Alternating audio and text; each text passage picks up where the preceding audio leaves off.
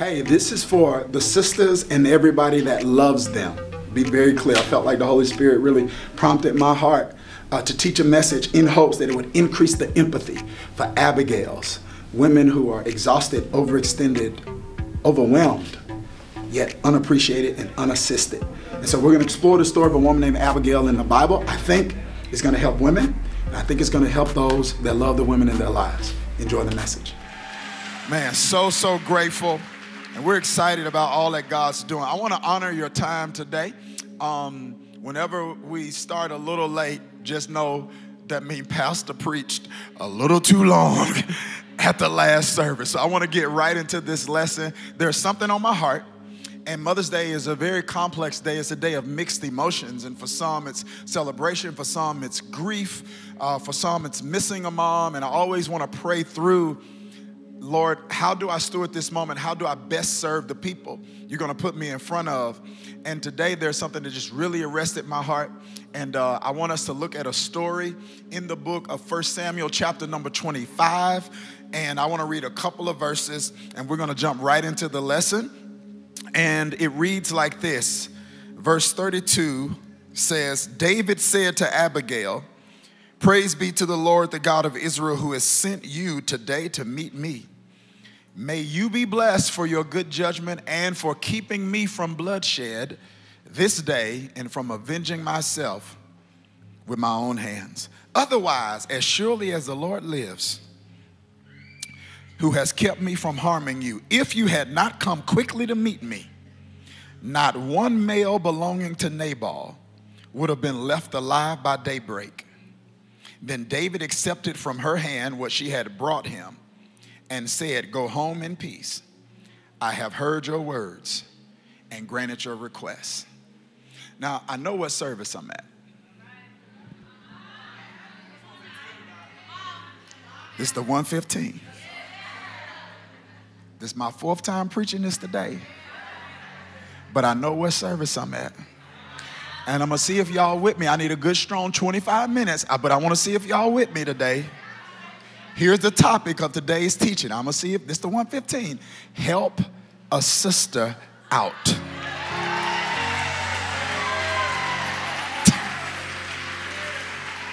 That, okay, we all right, we all right. Family, I want to leap into this lesson today by exploring a term that has become increasingly interesting, yet culturally controversial. And the term is captured in two words, family. It's a term called soft life.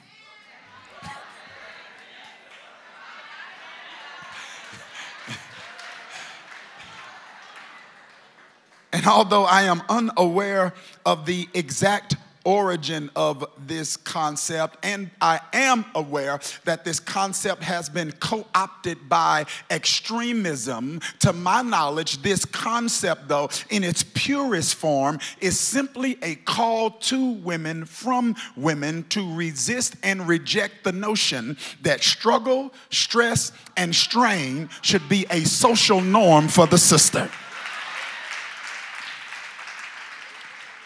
A soft life in its purest form is not some naive notion that life will be easy, but it is a healthy hypothesis that life doesn't have to be this hard.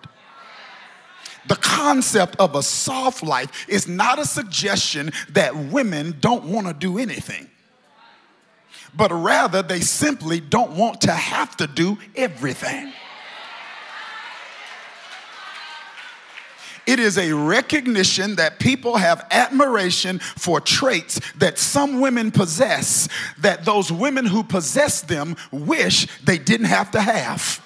It is as if some sisters would suggest that you are admiring me for something I wish I didn't have to be we admire women for being strong, not realizing and recognizing that strength is not always their preference strength for many of them is a necessity. They're not strong because they wanted to be. They're strong because they had to be. They strong because they wouldn't have survived if they weren't strong. They're strong because they would not have advanced if they were not strong. They're strong because they had to carry things they never thought that they would have to carry.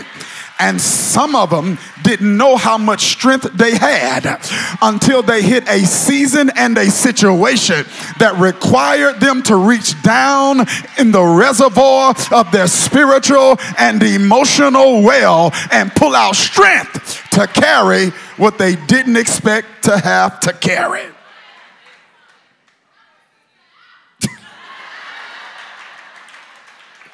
We often admire them because of their ability to multitask, not realizing and recognizing that that skill is not always a preference, it's a necessity. We applaud them because of their resilience and resolve and their ability to, to be able to push through and to press through and not stop when they deal with sickness not realizing that the reason that they don't stop when they're sick is not because they don't want to stop. It's not because they don't need to stop. It's because they know everything will stop if they stop. So they keep on going. And therefore, it is easy for sisters to find themselves in seasons and in situations where they are overwhelmed, overextended, and exhausted without the proper amount of empathy. What do you do when you're overwhelmed, overextended, and exhausted, and the people that exhausted you don't have empathy for you? Where is the 115 today? Consequently, the desire for a soft life is simply some sisters sagaciously suggesting help a sister out.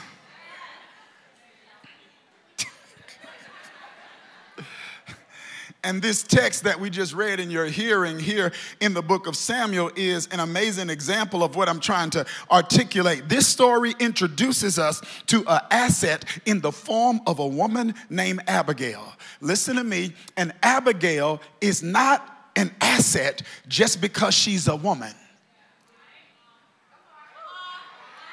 Abigail is an asset, listen to me, because of the kind of woman she is because the Bible teaches that every kind isn't the same kind. Woo! Now, there is a person in the Bible who would know. He's not a woman, but he dealt with enough of them to know a little bit about him. And his name was Solomon. From my Bible readers.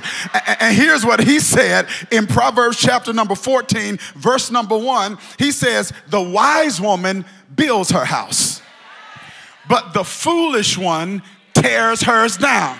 Notice the dichotomy one's wise, one's foolish. The wise one is constructive, the foolish one is destructive. The wise one is an asset, the foolish one is a liability. Every kind isn't the same kind. And so when we talk about Abigail, we're talking about a woman of wisdom. Listen to how the Bible describes Abigail. I, I, love it here. I love this description. And one more time, this is the 115. So y'all can handle this. Here it is. I, I, love, I love this description of Abigail because this description of Abigail debunks some dichotomies that people think they have to live with because of what we see in culture. The, the description of Abigail debunks the myth that you have to be this or that. Abigail's description shows us you can be this and that. Here it is. The text says, watch this, 1 Samuel 25 3, it says that Nabal's wife's name was Abigail. Watch this. She was an intelligent and beautiful woman. Did you hear that? She had beauty and brains. She was not this or that, she was this and that. She is an example of an ambidextrous woman. She's an example of a woman who can do multiple things. She is one who can bring home the bacon and then fry the bacon. Come on. And I want to know am I talking to any ambidextrous women today that will say, I can do both? Yeah, when I walk in the room, I'm not just a looker, I'm a lifter. Things are going to be lifted in the room. Family, this is Abigail. She is externally attractive, but she's intellectually valuable. When she shows up, help shows up.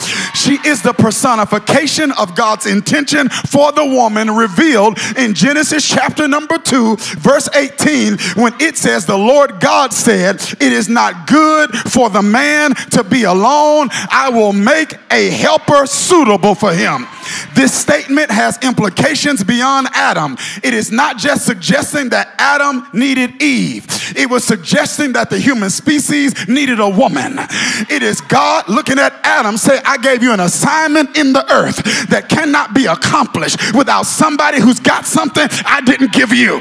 So he put Adam to sleep as an anesthesiologist, and then he reached into Adam as a surgeon and pulled out a rib, and then he fashioned an Isha called Eve. And when she walked into Adam's presence, Adam said, This is bone of my bone and flesh of my flesh. So when Eve showed up, help showed up. When Eve walked in, help walked in. And I want to know am I talking to any sisters that understand the assignment? When you understand your assignment to be an asset, your declaration will be if you don't want help, don't call me. Because I didn't walk in the room just to be cute and to look and to be quiet. I came in the room to add value. I came in the room to release some wisdom. I came in the room to unleash a gift. I came in the room to tear Satan's kingdom upside down. I can do more than carry a baby. I can carry a dream.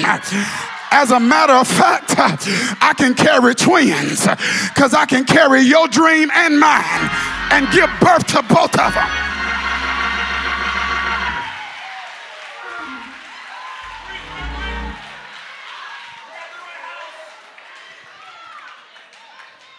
Abigail is an asset. Here's her issue.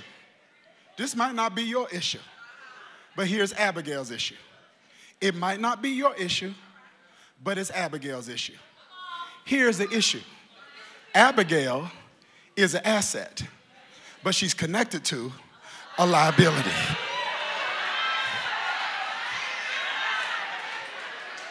Pastor, where'd you get that from? The Bible. I, I, I, I, got it. I got it from. I got it from the Bible. Pastor, what do you mean? What do you mean? You, well, you see, I want you to see how the Bible describes Abigail one more time. It says she's an intelligent and beautiful woman. Do you see that? Is that in the text? But she was an intelligent and beautiful woman, comma. See, it's, it's the comma for me. But her husband was sur- surly and mean in his dealings. She's beautiful and intelligent, and her husband has this unhealthy concoction because he's unaware you shouldn't be both of these. You can't be unattractive and unkind, brother. You can't. You don't look good enough to be mean, Nabal. You got just it'll help you if you just get nice. Just just talk nice, Nabal.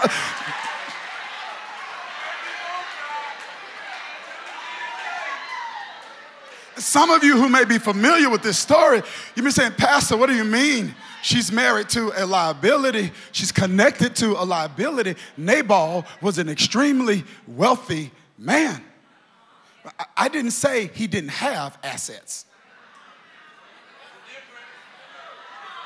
I'm saying he wasn't an asset. I'm saying you are not what you have. Nabal was extremely successful, but he failed to understand that success is simply overachievement in one area. It does not always translate to all areas. Therefore, we need to be conscious and careful when it comes to who we receive wisdom from because just because they're winning in one area does not mean they got wisdom to speak into your life in another area. And some of us are in a season where your choices are so consequential that you've got to be uniquely discriminatory and selective when it comes to who you allow to speak into your life. Your choices are too consequential for you to be cloudy and for you to be misguided with misinformation because the principle of proclamation says, Whoever has your ear has your future. Nabal was rich in resources, but he was poor in wisdom. And this is a dangerous place to be because his problem was, his problem wasn't rather that he didn't know where he was rich. His problem was he didn't know where he was poor. He knew where he was rich, but he didn't know where he was poor. Lord, I don't have time to deal with this. Right? Because when you have overachievement in one area, it can produce the trappings of success in other areas. So there is the shadow of success, but not the substance of success. Woof, right? So, so, so, so, so, come on. The, the, the, his success in the marketplace could, uh, could give him options relationally. Come on and he could take advantage of the options. And because he had income, watch this, he could take advantage of the options. And because he had income, he could live an opulent lifestyle. And people could look at the opulence in the relationship and assume that's a great relationship. When it is a shadow of one, but it is not the substance of one. Are you here? I said, Are you here? So, so it's, it's like this overachievement in some area. It can be deceptive because you can be winning so well in one area that you see the fruit of those winnings in other areas. And you can think you just as good in those areas. Yeesh. And it becomes uniquely complicated when the people that are surrounded, that are surrounding you, their well being is at the mercy of your continued success. Therefore, the more successful you are, the less likely they are to speak truth to you. I don't have. We got to go to brunch. Come on. so, so he's rich, but he doesn't know where he's poor in. He's rich in one area, but he doesn't know where he's poor in because he's so rich in that area, no one will tell him he's poor in another one.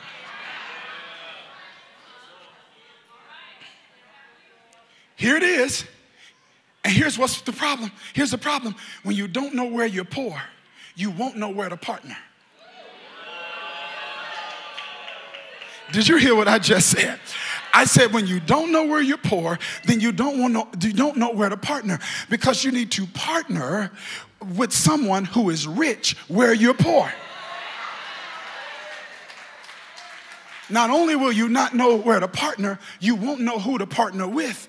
And you can have an Abigail in your life that you are underutilizing. Because if you can't see your poverty, then you can't see her wealth.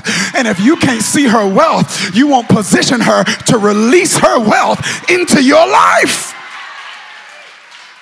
And what happened with Nabal is this. Y'all all right? Do I have eight, nine minutes? Do I have it? Okay, here it is. Here it is. Here it is. I want you to see what happens because Nabal's poverty gets them in a predicament that his wealth can't get them out of. The area he was poor in gets them in a predicament that the area he was rich in can't get them out of. Pastor, where you get that from? The Bible. Because when you read this story, you'll see that Nabal's success was in the area of agriculture. So, primarily, the text says he has thousands of sheep. Now, sheep or animals during that day, that was a form of currency, that was an asset. And thieves are always after assets. So, during these days, they aren't stealing credit card numbers, there are no bank accounts. They had to steal something substantive. So if sheep were a means of currency, then what would it mean? It means raiders would come and try to kill shepherds so they can take the sheep. So Nabal had thousands of sheep, and some of his sheep were spread out in this region where David, who defeated Goliath with a rock, David, who defeated a lion and a bear with his bare hands. David, who was one of the most successful military leaders during the rule of King Saul. This David just happened to be in an area where Nabal's sheep and shepherds were. And you know what David did? Him and his men protected them. Even though he didn't know him. Even though he didn't need him they protected them. And listen to what happens. There comes a season where it's time to shear the sheep. And they're shearing the sheep, and Nabal's preparing a feast of food for all of the shepherds. And David sends word to Nabal hey, we protected your sheep and your shepherds. You wouldn't have so many sheep to shear if it wasn't for our protection. But Nabal's intoxicated with arrogance, and arrogance gives you selective amnesia. Selective amnesia is when you remember everything you did for others, but you forget what others have done for you. And, and, so, and so David says, Hey, can you just take whatever you can find in terms of food and just send some up here so I can feed my men. That's all he asks. I want you to see Nabal's response. Verse 9 says, when, when David's men arrived, they gave Nabal this message in David's name. Then they waited. And Nabal answered David's servants, Who is this David? Who is this son of Jesse? Many servants are breaking away from their masters these days. Why should I take my bread and water and meat I have slaughtered for my shearers and give it to men coming from who knows where? That's what he said to David's men. So, verse 12 says David's men turned around and went back. And when they arrived, they reported every word. I mean, they got detailed. He said, Who is this David? Who is this Jesse? I think he don't like your mama. I think he don't like your cousins. The text says they reported every word. Watch what David does, family. David said to his men, Listen, each one of you, strap on your sword.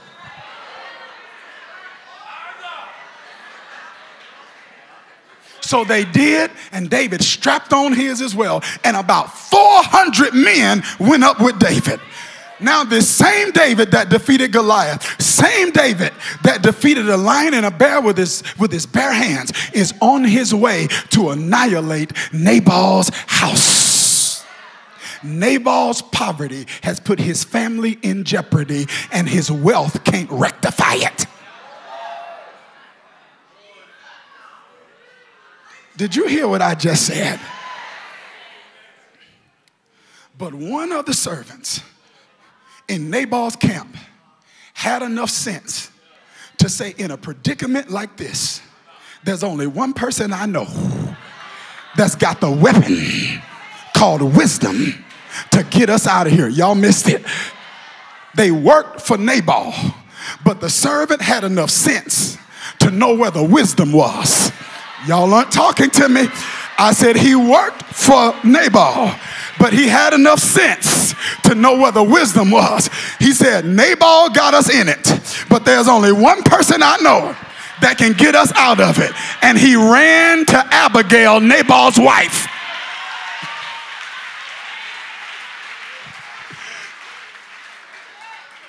Did you hear what I just said? And they said to Abigail, David sent messengers from the wilderness to give our master greetings, but he hurled insults at them. Yet these men were very good to us. They did not mistreat us. And the whole time we were out in the fields, near them, nothing was missing. Night and day, they were a wall around us. And the whole time, we were herding our sheep near them. Now, think over what you can do because disaster is hanging over our master and his whole household. He is such a wicked man that no one can talk to him. This is what he tell Abigail because he knows right now the weapon we need is wisdom. And I got to go to the one not who's got the title. I got to go to the one who's got the wisdom. I got to go to the one not who's got the notoriety, but to the one who's got the wisdom. I got to go to the one, watch this, that may not get all the credit, but she's got the competence to get us out of this crisis. He went to Abigail, and that sister Abigail said, Y'all, uh, y'all okay let me tell you, y'all not ready for this. Uh, uh-huh. Verse 18 says this. I love the first three words. Abigail acted quickly. I'm going to say it again. Abigail acted quickly. I'm going to say it again.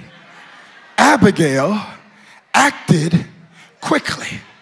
Now, this seems inconsequential unless you go back to our foundational text where the Bible records David responding to Abigail and says in verse 34 Otherwise, as surely as the Lord God of Israel lives, who has kept me from harming you, if you had not come quickly, to meet me, not one male belonging to Nabal would have been alive by daybreak. He said, if it would have took me all night to do it, I was going to annihilate everybody connected to him. But you came to me quickly. If you had delayed, if you had waited, you would have got to me too late. And sometimes sisters' intuition is actually divine urgency. God saying, do it now. Move now. Come on here.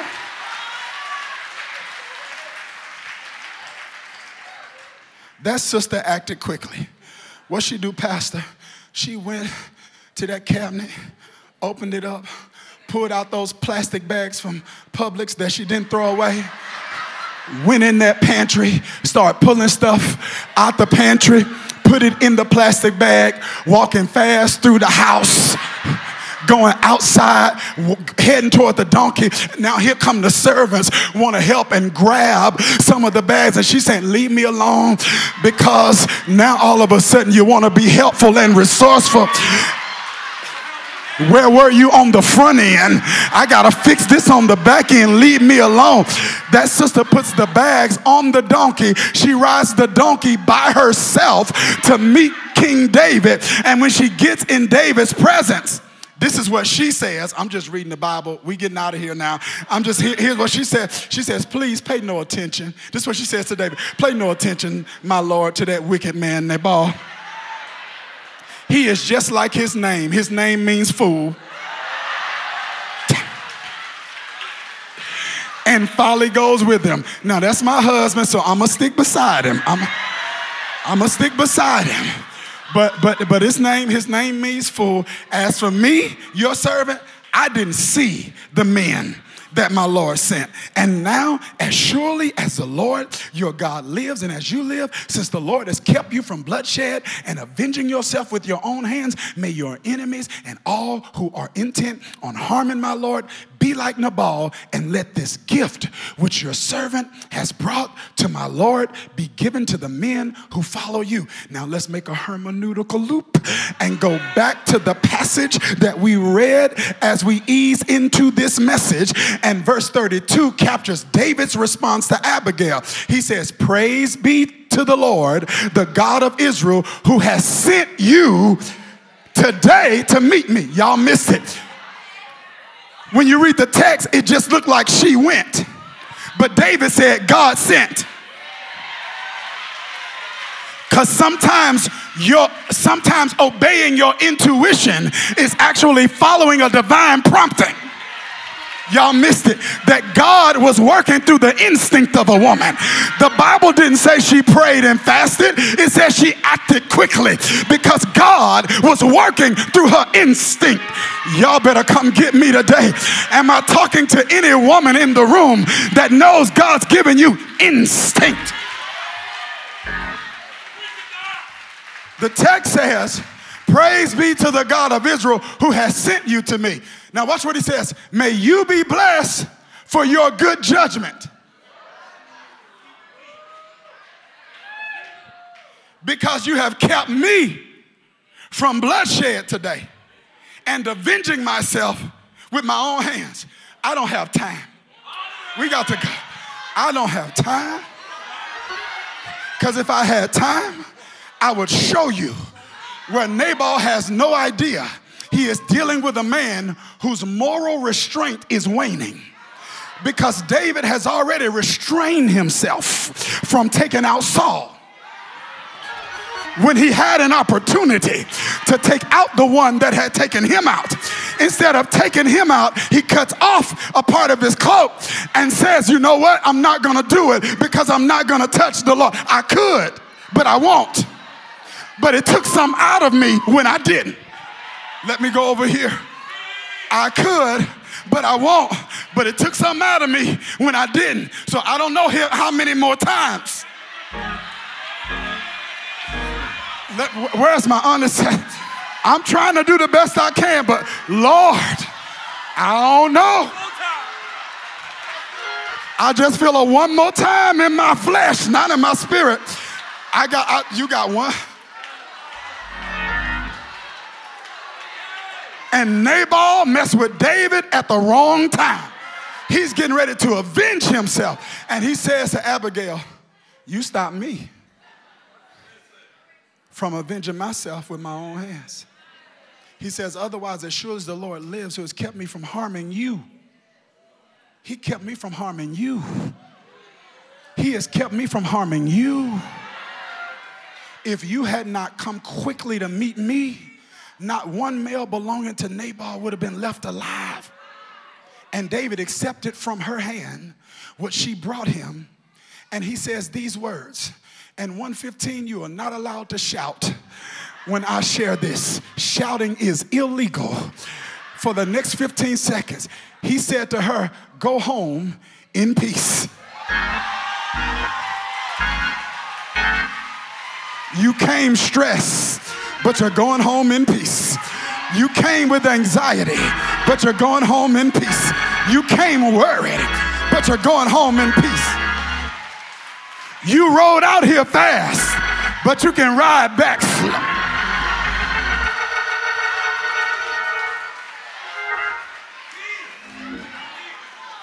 He said, Don't stress. I'm done, Tario. Don't stress. Go home in peace an entire disaster is averted and avoided because of a woman's intervention. Now, I was telling Pastor Shameka in the back, I can't even really pull out of this text what could be pulled out of this text with men in the room. I can't. I don't even. I couldn't. Nah. Nah. No, you can't. You can't. You can't, handle it. What do you do when you have to submit to somebody you wiser than? I see, that's what I told you. You were, that's, I just, I need a, I don't know. You need to let me speak at the next women something. Let me, let me deal with that.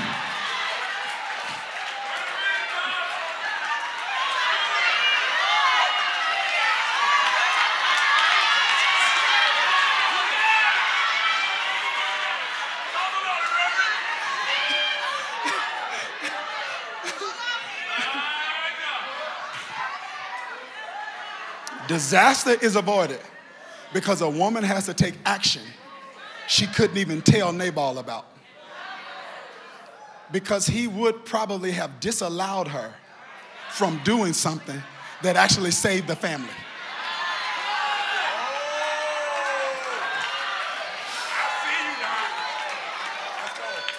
So she was not acting in rebellion, she was submitting to her highest authority. Because whenever your delegated authority contradicts your highest authority, now you have to submit to the higher authority. This too much, we gotta go.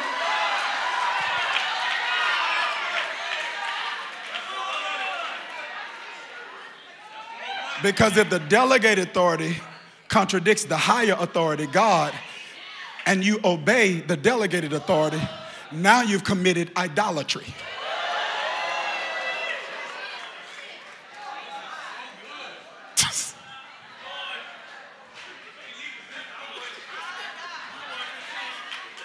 Let's go.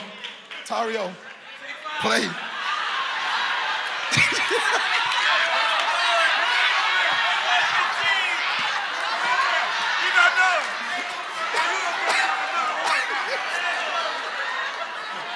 We got to go. I got family in town. We got to go. Here it is. Here it is. Here. Tario, I'm in authority. Play.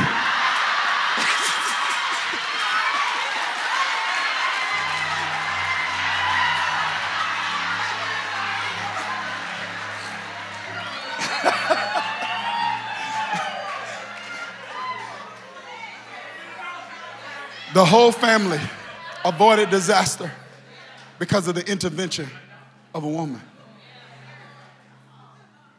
She gets very little credit. Many people are unfamiliar with the story because we don't talk about Abigail. But all of us are here because, in one way or another, and Abigail used a weapon called wisdom to help us. Now, do you think a woman like that is a gift from God? Do you think God wants us to properly steward and take care of gifts like that? The question is how? And the answer is twofold. You got to ask her. and then, secondly, you got to ask the one who made her. Because the one who made her may tell you something she can't. Because some of them have gone without a need met so long, they don't even know how to name the need. So God has to tell you how to give them what they can't name because they've never had it. So I can't tell you what she could say, but I could share with you some things I think the maker would say. R.C. Sproul says we cannot read God's mind, but we can read his word. So here it is, family. Five things really quick. Number one for my note takers. What should I do with Abigail? How can I help a sister out? Number one, affirm Abigail. Affirmation is an indication that you properly perceived her value. I'm not talking about feeling gratitude. I'm talking about expression, expressing appreciation. Proverbs 31, 28 says, uh, For the virtuous woman, her children rise and call her blessed, and her husband also praises her. Affirm Abigail. Number two, advocate for Abigail. Abigail is often helping other people give birth to their dreams, and very rarely are people helping her give birth to hers. Abigail can speak up for herself, but she shouldn't have to speak up for herself all the time. Number three, assist Abigail. This means accurately identifying the season she's in and discerning the support that season requires. Baby, where, mom, sister, wife, where are you now? Because I don't want to give you what you used to need. Number four, accept Abigail. Abigail needs to be received for who she is, not just for who she's not. Because some of the things that agitate you about her is what makes her an asset to you. You so detailed, that's why our bills together. Y'all aren't talking to me. She needs to be encouraged to grow into a better version of herself, but not pressured to become someone she's not. Acceptance is not an excuse to stay stuck in dysfunction, but rather it's an acknowledgement that you are loved in spite of it and the things that others judge, I am here to heal. And last but not least, assure Abigail. Just because Abigail is strong doesn't mean she doesn't feel insecure. There are times when adversity creates amnesia and Abigail forgets who she are, who she is, and she needs somebody to remind her, you still her.